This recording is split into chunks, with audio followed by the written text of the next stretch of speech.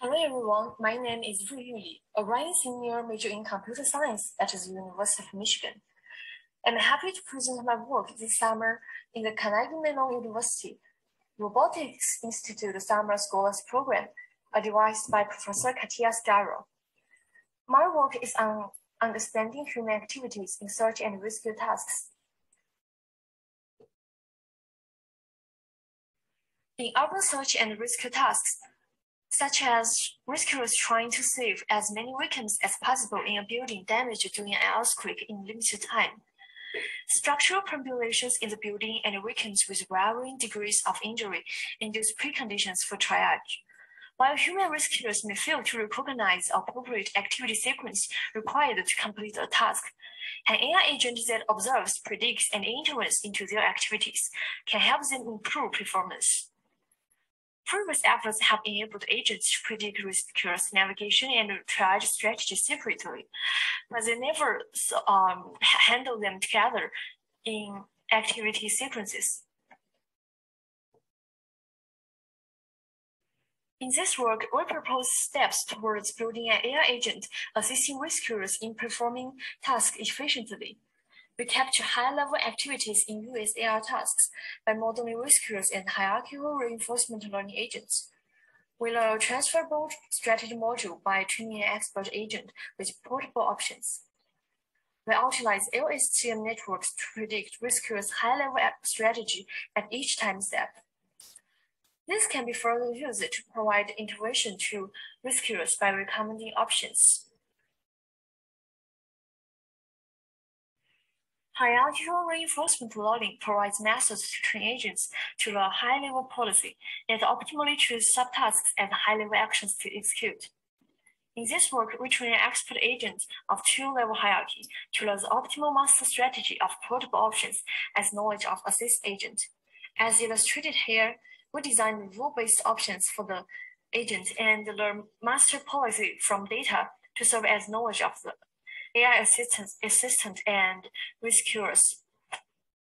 Importantly, we follow the work building portable options, skill transfer in reinforcement learning to train the options in both problem space and agent space to increase the transferability of the master policy. To predict options of rescuers that are constantly learning from a device given by the AI agent, we utilize long short-term memory networks. It is a special kind of RNN capable of learning both long-term and short-term dependencies.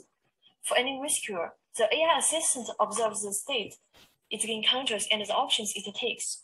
Using these observations as training data, the assistant trains a LSTM to predict rescuer's activity at each time step.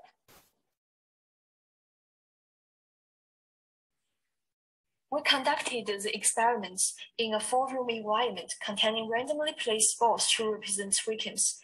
Each locked door will be open only if the switch of the same color be toggled. In each episode, the agent will be initialized at a random location in the top left room. There are four actions, forward, to left, to right, and toggle. The agent has three kinds of options. The first is navigating to a room. The second is going to a switch and it, and the last is triangular a. The corresponding initialization conditions and termination conditions are, shown here.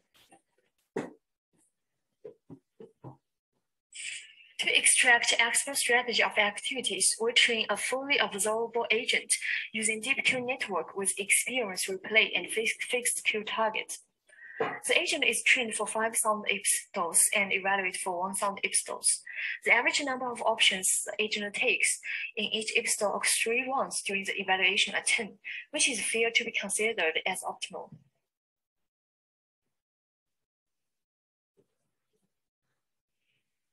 To collect data for option predictions, we simulate various artificial rescuers. Their learning curves are shown here. We use the data of them from episode 2000 to episode 5000 and report the average prediction accuracy across three rescuers. SVM and MLP are served as baselines. The best model we get so far is LSTM with accuracy 0.73.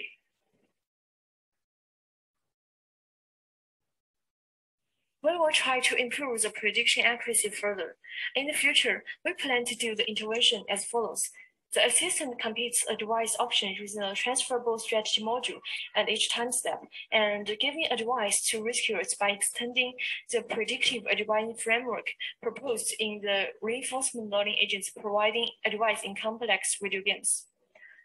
Also, we will try to extend the work to multi-agent settings and more complicated environments.